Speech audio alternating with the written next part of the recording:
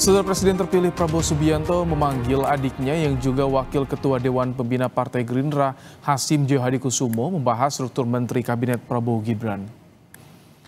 Hal ini disampaikan Wakil Ketua Umum Gerindra Rahayu Saraswati di acara Rembuk Pemuda Indonesia II pada Minggu sore. Sarah menyampaikan maaf atas ketidakhadiran Prabowo sepulang kunjungan kerja keliling ASEAN karena berlanjut menyiapkan transisi pemerintahan. Salah satunya menggodok struktur kabinet di Hambalang bersama Hasim dan tim transisi. Sarah memastikan kabinet Prabowo membuka pintu tak hanya untuk Gerindra dan Koalisi Indonesia Maju, tapi parpol lain yang ingin bersama Prabowo. Dan juga tentunya di sini ada Bapak. Beliau memang sedang mempersiapkan. Sekali lagi ini sedang masa transisi. Hitungan tinggal enam minggu lagi. Masih mempersiapkan detik-detik terakhir untuk membentuk uh, tim transisi yang lebih matang lagi dan juga struktur kabinet yang masih dirancang. Jadi apa pun yang selama ini sudah keluar, daftar itu sudah dipastikan hoax ya, bukan daftar yang akhir. Dan itu masih terus dibicarakan uh, dan didiskusikan. Siang hari ini pun juga salah satunya adalah untuk membahas hal tersebut. Ini bukan hanya internal ya. Karena banyak yang mungkin berpikir oh ini hanya di Gerindra saja. Pak tapi selalu kita bersama-sama terutama dengan koalisi Indonesia Maju dan juga semua partai-partai yang tetap ingin bergabung karena Pak Prabowo seperti waktu di akhir Rapimnas yang lalu di apel kader menyampaikan kita harus bisa maju ke depan bersama. Wakil Ketua Dewan Pembina Partai Gerindra Hashim Joyo Hadi Kusumo membocorkan menteri yang bakal masuk dalam kabinet pemerintahan Prabowo Gibran. Ia menyebut empat di antaranya lulusan SMA Taruna Nusantara. Hashim menyebut nama-nama calon menteri Prabowo akan segera diumumkan, namun enggan membocorkan nama calon yang dimaksud. Di Kabinet Prabowo sekarang ini ada beberapa alumni SMA Turana Nusantara yang jadi menteri. Saya sudah hitung 2, 3, 4 mungkin. Lulusan SMA Taruna Nusantara bakal jadi menteri di, di kabinet yang baru ini. Dibentuk, akan diumumkan. Saya sudah tahu banyak nama-nama yang masuk. Tapi saya janji tidak boleh, tidak boleh membocorkan. Menteri Sekretaris Kabinet Pramono Anung menanggapi pernyataan Hashim Joyo Hadi Kusumo soal empat alumni SMA Taruna Nusantara yang akan masuk ke Kabinet Prabowo Gibran. Pramono Anung menilai yang nantinya akan dipilih Presiden terpilih Prabowo Subianto sebagai Menteri adalah yang terbaik. Pramono juga bilang anak muda yang masuk dalam kabinet adalah hal yang baik. Siapa pun nanti yang akan dipilih oleh Presiden terpilih Pak Prabowo untuk duduk dalam kabinetnya pasti sudah dengan pertimbangan yang pasti sudah pertimbangan yang matang. Sehingga dengan demikian kalau ada anak-anak muda yang ada dalam kabinet menurut saya baik-baik. Sebelumnya dalam penutupan Rapimnas Partai Gerindra, Prabowo Subianto juga sempat membocorkan sebagian menteri di pemerintahan Joko Widodo akan masuk dalam kabinet pemerintahannya. Tim Liputan Kompas TV.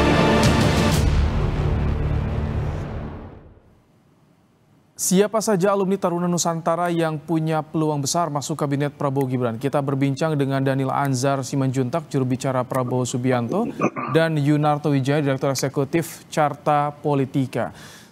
Selamat sore, Bang Daniel, Mas Toto.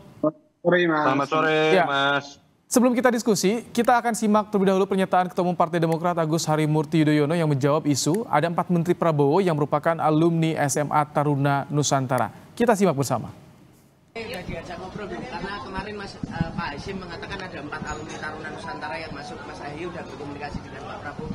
Oh sudah, uh, komunikasi kami berjalan dengan baik, uh, reguler, walaupun tidak setiap saat tentunya, tetapi yang jelas dalam berbagai kesempatan kami berdialog, tapi yang saya senang, kami dialognya itu tidak hanya berurusan dengan uh, posisi atau jabatan yang akan diberikan ke partai Demokrat atau partai-partai lainnya, tapi banyak sekali tentang visi besar, gagasan, bagaimana beliau ingin Indonesia ini makin kuat, ya, memiliki kemandirian di bidang pangan, energi, kemudian juga uh, infrastrukturnya juga semakin semakin kuat, termasuk juga mengintegrasikan seluruh daerah di Indonesia.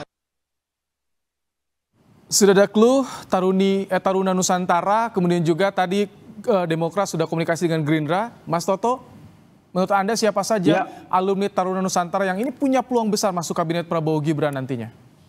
Mas Toto atau Bang Daniel nih? Mas Toto dulu dong. Oh kalau Bang Daniel, kalau saya sampai tahu jawabannya bahaya banget gitu. Berarti jubirnya Pak Prabowo kalah gitu ya. Ini sebenarnya begini.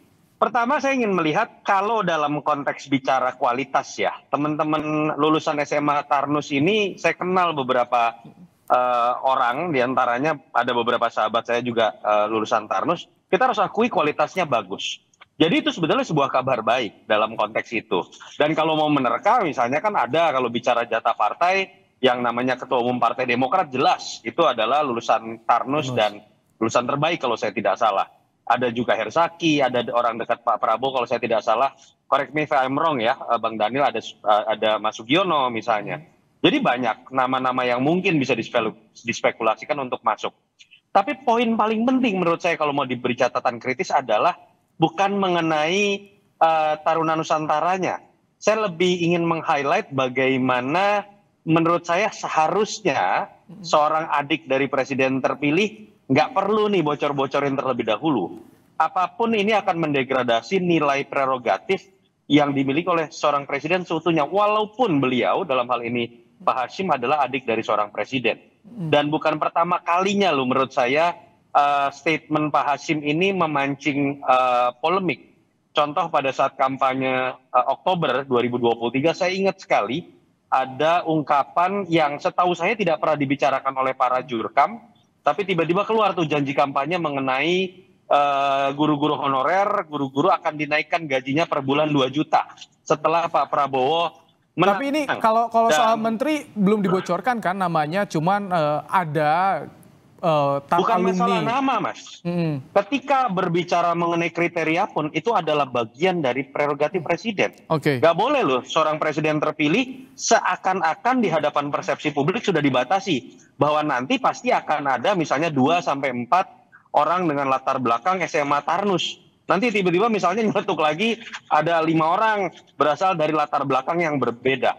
Itu menurut saya akan eh, membatasi ruang gerak dari eh, seorang presiden terpilih untuk Oke, menunaikan sebelum lebih jauh tadi soal soal polemik di balik clue yang disampaikan Hasim, tapi Bang Daniel, kalau saat Ya. ini di lingkaran eh, Prabowo siapa saja alumni Taruna Nusantara yang diprediksi atau berpeluang besar bisa masuk kabinet Prabowo Gibran? Kalau salah satunya tadi AHY, tiga lainnya siapa, Mas Daniel?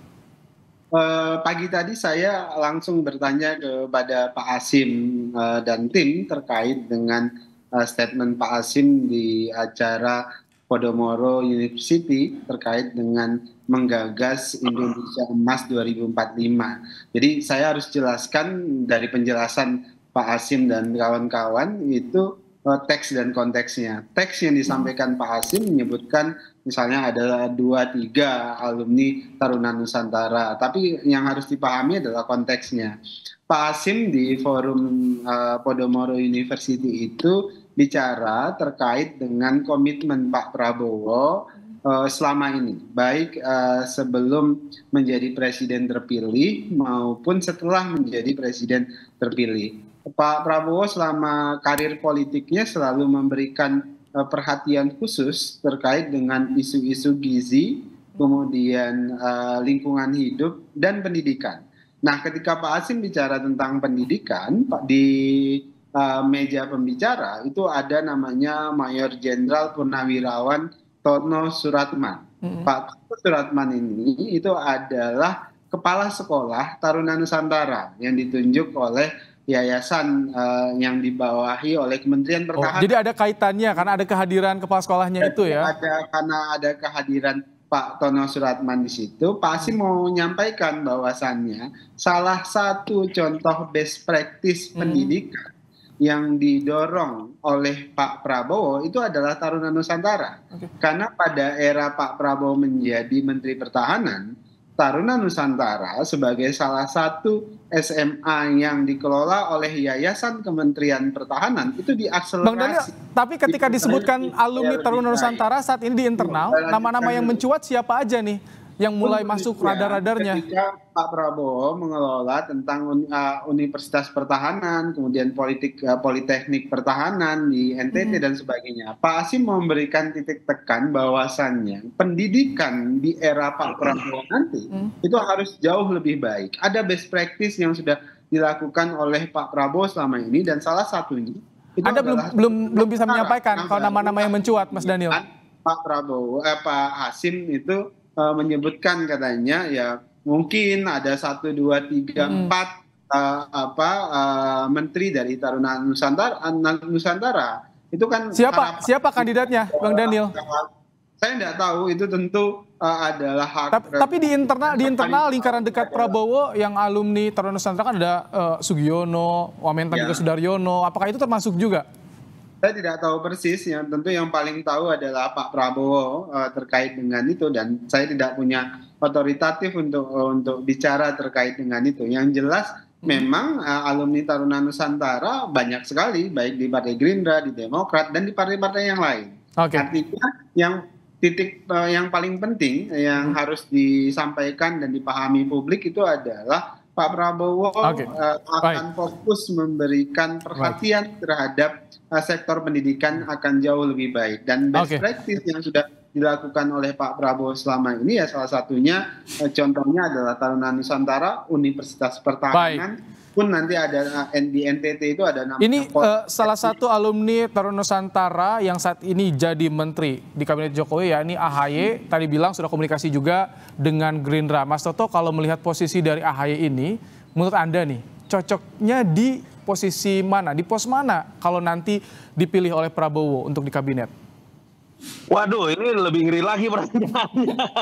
Saya harus punya KPI. Analisa aja dari eh, secara secara visi gambaran yang Anda tangkap Mas, nih. Bahasan ini yang menurut saya berbahaya. Jangan pernah bertanya mengenai nama kepada seorang pengamat. Hmm. Karena yang jadi adalah asal tebak.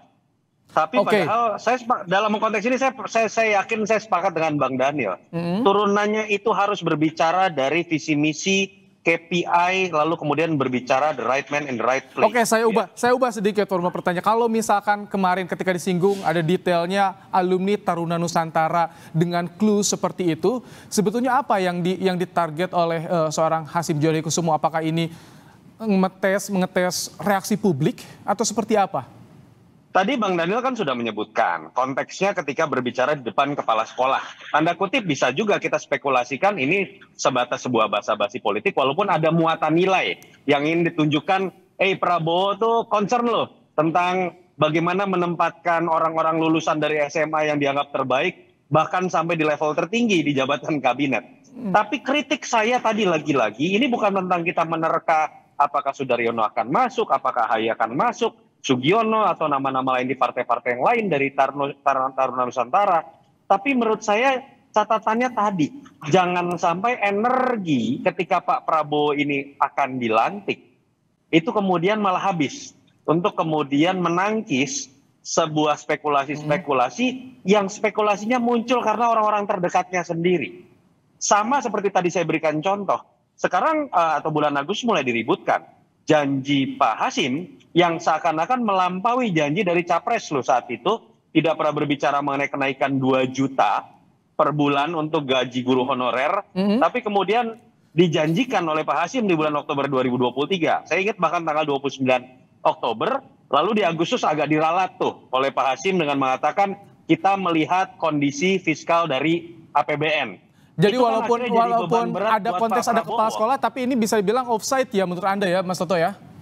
Buat saya alangkah bijaknya Oke. siapa pun. Saya percaya Pak Hasim sebagai adik orang terdekat Pak Prabowo pasti diajak bicara. Tetapi alangkah bijaknya kemudian di hadapan publik hal-hal ini ditutup. Oke, saya ingin- saya ingin tanggapan rapat Anda, kemudian Bang Daniel. kewibawaan presiden tidak terganggu. Bang Daniel, tanggapan Anda soal Ya, tadi. Offside nih Pak- nampaknya. Saya melihat Pak Asim tidak sama sekali membocorkan apa pun sebenarnya. Hmm. Yang beliau sampaikan karena terkait pada saat itu ada Pak Tono Suratman, kemudian beliau berbahasa basi biasa kalau kita uh, di dalam satu forum biasa kita karena ada orang yang sedang mengelola Taruna Nusantara kita berharap dia supaya terus memperbaiki dan meningkatkan kualitas Taruna Nusantara, kemudian Pak Asim seperti memberikan komplement kepada uh, Pak Tono Suratman pada saat itu. Jadi itu hal yang wajar ketika kalau Anda terbiasa menjadi speaker ketika pidato segala macam, kita memberikan komplement atau apresiasi kepada orang yang hadir pada saat itu. Nah kebetulan Pak Tono Suratman ini adalah jenderal purnawirawan jenderal okay. bintang dua dan kepala sekolah juga di Taruna Nusantara ya itu. Nusantara dan hmm. harapannya dan Pak Asim memberikan penekanan bahwasannya Pak Prabowo ingin memastikan lima tahun ke depan pendidikan uh, Indonesia akan jauh lebih baik. Okay. Ini akan menjadi perhatian khusus Pak Prabowo. Itu ini bi karena bicara soal kabinet sekitar 40 hari lagi sebelum pelantikan ini masih hangat dan orang menanti siapa yang akan ditunjuk oleh Prabowo Gibran dalam membantunya nanti selama lima tahun ke depan. Terima kasih pandangannya Mas Yunarto Wijaya, Direktur Eksekutif Carta Politika dan Oke, juga Bung Daniel Azhar Simanjuntak, juru bicara Prabowo Subianto, ya, bergabung di Kompas Petang sore hari ini. Saudara usai jeda